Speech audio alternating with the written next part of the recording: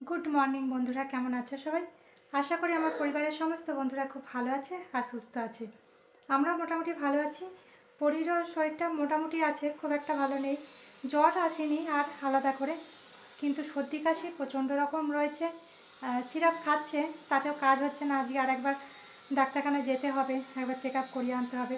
ভীষণ রকম সর্দি কাশি রয়েছে। এদিকে চলে এলাম সকালে জলখাবার রেডি করতে। সকালে জলখাবারের জন্য আজকে কয়েকটা ধোসা বানিয়ে নেব পরির আর আমার মতন বানাবো।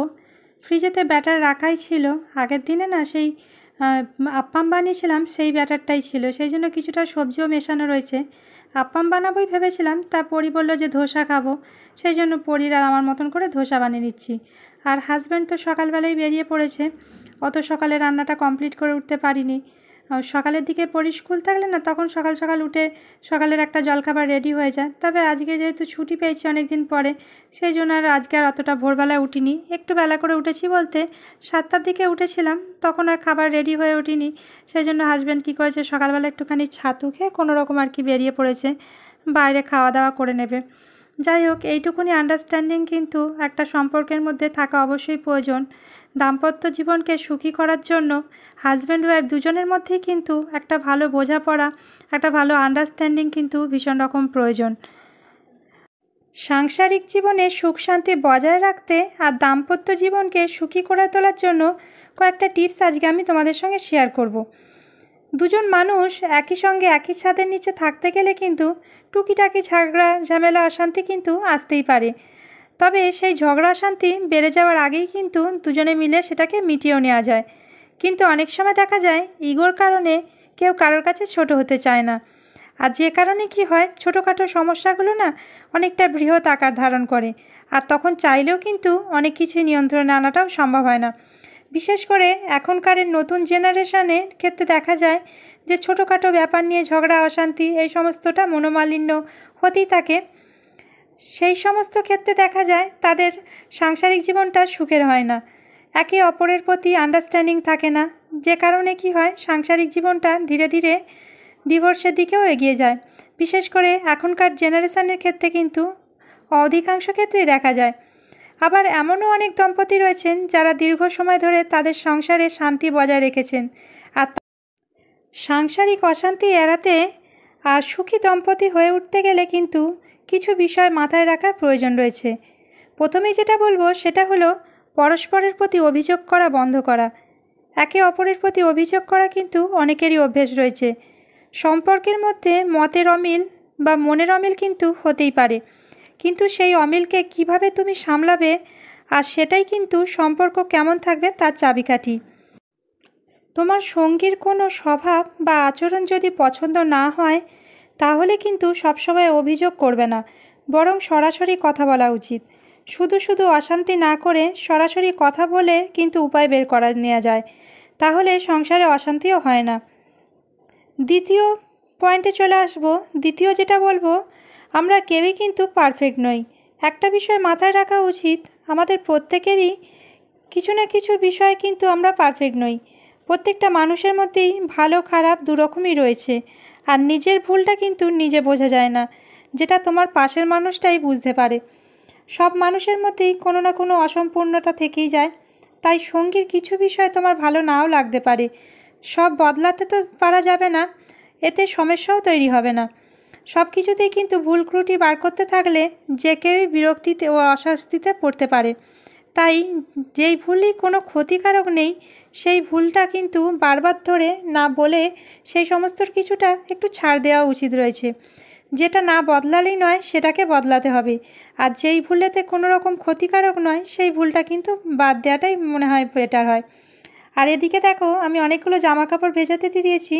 আর এখন চলে এসেছি পরির জন্য একটু কাড়া বানাতে। পরির ভীষণ রকম না সর্দি কাশি করেছে। ওষুধ খেয়েও কাজ হচ্ছে না, একটু সময় লাগবে। সেই জন্য ভাবলাম যে একটু কাড়া বানিয়ে দিই। আর এখানে কাড়া বানাবার জন্য আমি কিছুটা তুলসী পাতা, আদা, আর তার সাথে নিয়েছি কয়েকটা গোলমরিচ, কয়েকটা লবঙ্গ। আর ঘরেতে একটু মিজরি আনা ছিল, সেই মিজরিটা নিয়ে নিয়েছি। সমস্তটা এখন হাফ গ্লাস জলের মধ্যে ভালো করে ফুটিয়ে নেব। ফুটিয়ে তারপরে কাড়াটা রেডি করব। যদি একটু শিউলি পাতা থাকতো তাহলে ভালো হতো। শিউলি পাতা, বাকস পাতা, এই সমস্তগুলোও কিন্তু মাকে দেখেছি ছোটোবেলা আমাদের বানিয়ে দিত দিয়ে। কিন্তু সেই সমস্ত কিছুটা এখন ঘরে নেই বলে যতটুকু রয়েছে সেটা দিয়ে একটা কাড়া বানিয়ে দেবো। আর এখানে না কয়েকদিন ধরে ডিম আনা ছিল, সেগুলো একটুখানি ধুয়ে এবার শুকনো করে নেব, তারপরে এগুলোকে ফ্রিজে তুলব। এখন চলে যাব পরবর্তী তিন নাম্বার উপায়। তিন নাম্বার উপায় বা তিন নাম্বার টিপস যেটাই বলি না কেন, সেটা হলো কখনই কথা বন্ধ করবে না।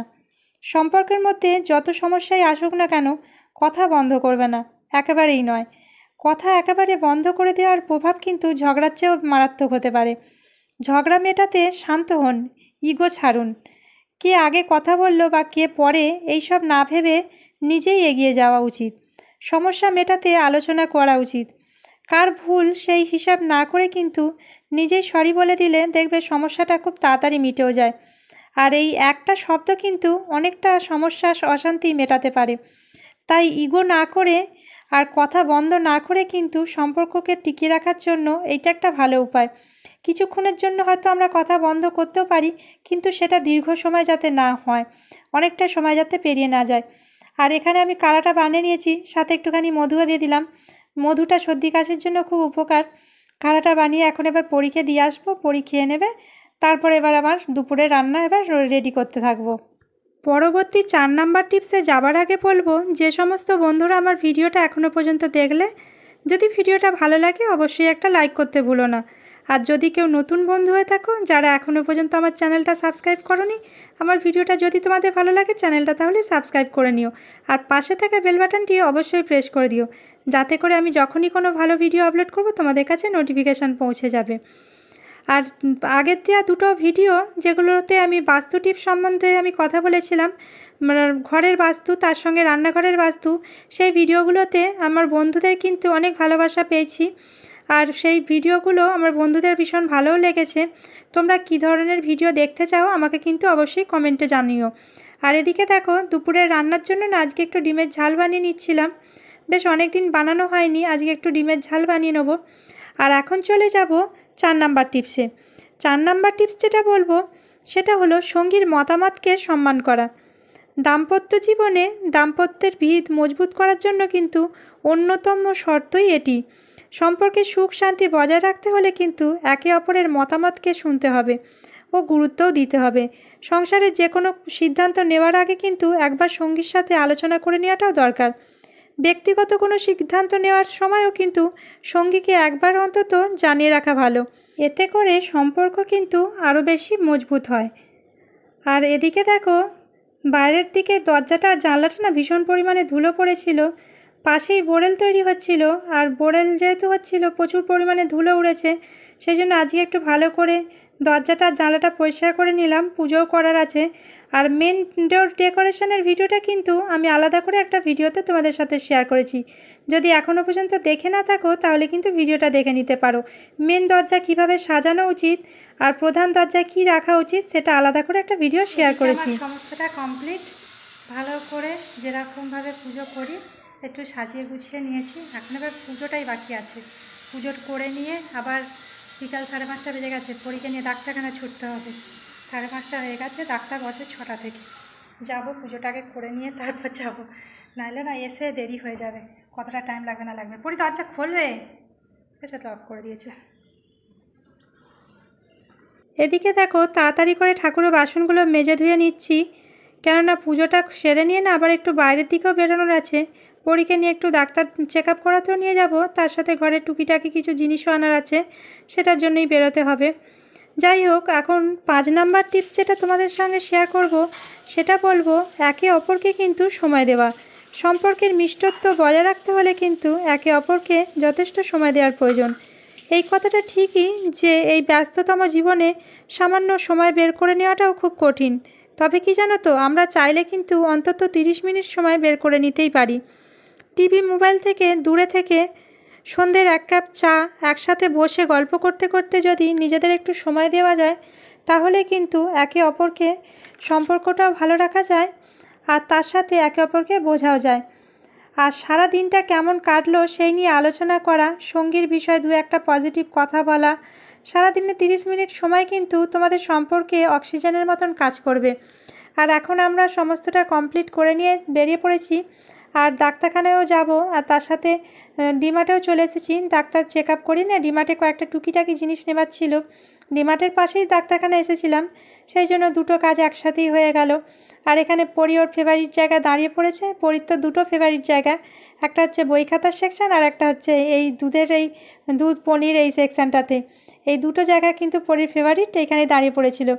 যাই হোক, টুকিটাকি জিনিসপত্র কিনে নিয়ে আর ফিরে এসেছি। বেশ সন্ধেও হয়ে গিয়েছে, যেহেতু অনেকটা সন্ধ্যের সময় বেরিয়েছিলাম।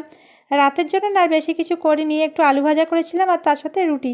আর যাই হোক, যেমনটা বলছিলাম বন্ধুরা, সারা দিনের মধ্যে তিরিশ মিনিট সময় কিন্তু একে অপরকে দেওয়ার কিন্তু অত্যন্ত গুরুত্বপূর্ণ। সেটা সন্ধ্যের এক কাপ চাই হোক অথবা রাতের ডিনারের টাইমে।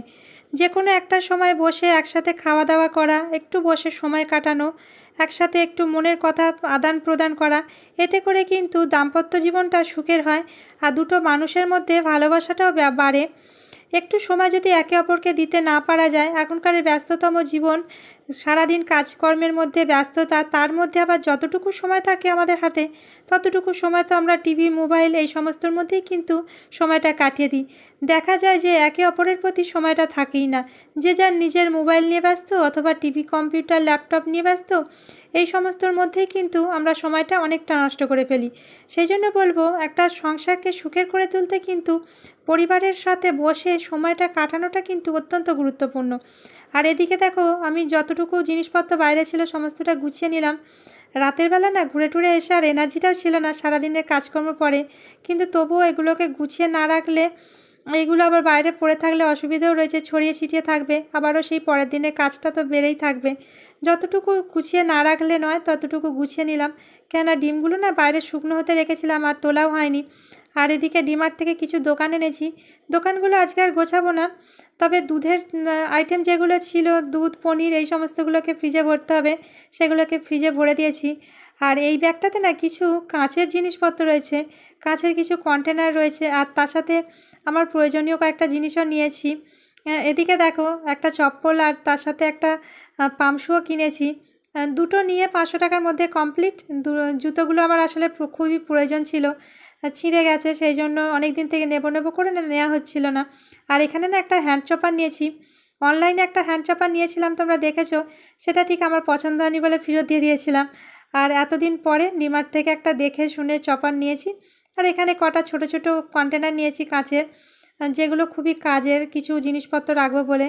আর এই যে এই পামশুটা নিয়েছি পামশুটা ওই যে যেমন বললাম পামশু আর চপ্পল দুটো নিয়ে আর কি পাঁচশো টাকার মধ্যে কমপ্লিট। জিনিসটা বেশ কোয়ালিটিটা ভালোই হয়েছে। যাই হোক, দোকানের তুলনায় ডিমার্টেতে একটু সস্তাই হয়। দোকান থেকে নিতে গেলে একটু দামটা বেশি হয়ে যায়। আর রেগুলার ইউজের জন্য ঠিকই আছে। আর আজকের ভিডিওটা তবে এখানেই শেষ করলাম বন্ধুরা। ভিডিওটা যদি তোমাদের কিছু ভালো লেগে থাকে, ভিডিওটা ছেড়ে যাবার আগে কিন্তু একটা লাইক, কমেন্ট করতে ভুলো না। দেখা হবে আবার নেক্সট কোনো ভালো ব্লগের সাথে। সবাই ভালো থেকো, সাবধানে থেকো, সুস্থ থেকো।